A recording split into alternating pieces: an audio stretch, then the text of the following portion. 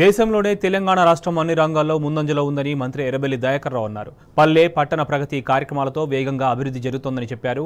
June మూడు నుంచి ప్రారంభమయ్యే పల్లె పట్టణ ప్రగతి కార్యక్రమాలను విజయవంతం చేసేందుకు సమిష్టిగా ప్రణాళికాబద్ధంగా కృషి చేయాలని పిలుపునిచ్చారు. మహబూబాబాద్ జిల్లా పెద్దనవంగరలో జరిగిన పల్లె ప్రగతి పట్టణ ప్రగతి సన్నాహక సమావేశానికి మంత్రి ఎర్రబెల్లి హాజరయ్యారు. ఈ సమావేశంలో స్థానిక ప్రజాప్రతినిధులు అధికారులు పాల్గొన్నారు.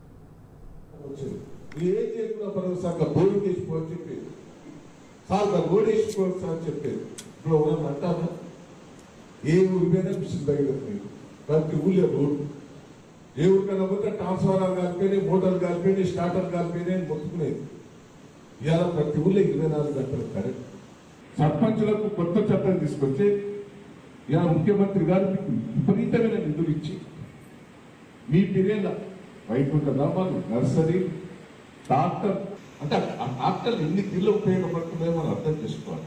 ముఖ్యమంత్రి గారు ఒక ప్రణాళిక రూపంగా గ్రామ పంచాయతీ వ్యవస్థను బాగు చేశారు.